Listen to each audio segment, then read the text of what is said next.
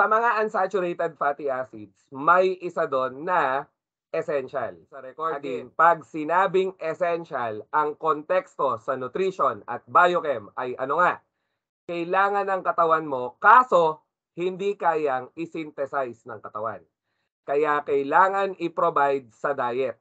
Okay? Kapag essential ang biomolecule. So sa oleic, linoleic, linolenic, dalawa ang essential fatty acid doon. Linoleic acid nga at linolenic. Okay? So si linolenic nga, yung omega-3, sana naalala pa, medyo sira na yata nga ang monitor ko at nagbabako-bako ang writing. Anyways, omega-3, linolenic.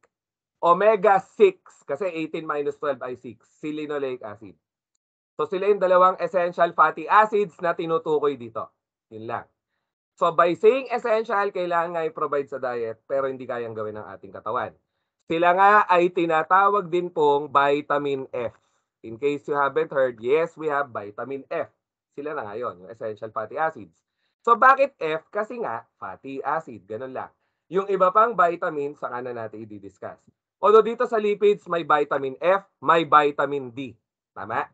Yung dito nga, yung galing sa ergot or fungi, ergosterol, nagiging ergocalciferol. Yung ergocalciferol nga, yung vitamin D2. Yung vitamin D3 naman ay cholecalciferol, manggagaling sa cholesterol. Okay? So, strictly speaking, ito na muna, yung dalawang vitamin D, they are not true vitamins. Kasi pag sinabing vitamin nga, dapat essential. Pag sinabi ulit na essential, hindi kayang buuin ng katawan. So, yung D2, sige, palitan natin, sorry. Yung D2, kasi nakaka-distract yung monitor ko kahapon pa. Yung D2, totoong vitamin. Kasi di natin kaya i-produce po. Ang gagawa niyan, fungi eh. Ito kaya nating i-produce.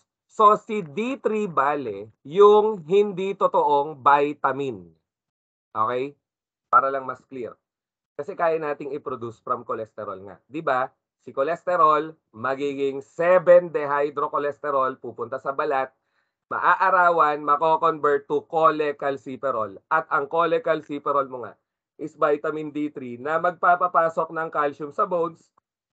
Aray ko, ang GERD ko magpapasok ng calcium sa bones para tumibay ang bones. Okay? So yon, hindi nga totoong vitamin ang D3.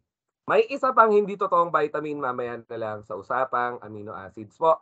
So, kapag vitamin F nga, essential, at kapag kulang ka, pwedeng may konting problema sa adult size or growth retardation and can also cause other metabolic uh, derangement. So, maraming factors sa growth. I'm pretty sure na mention ko yan somewhere.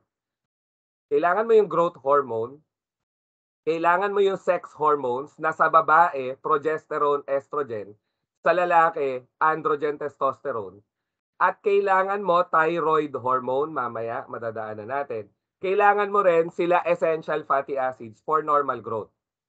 At vitamin B2 pati, riboflavin. So kailangan mo yung mga yan for normal growth.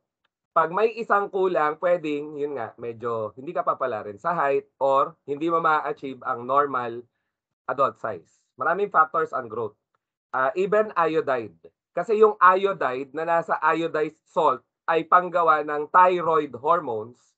Thyroid hormones ay mahalaga sa maturation and development ng adults or into adults. Okay? Maraming factors sa growth, kumbaga. So isa lang to. Kasi baka isipin natin na ah, pag ako ay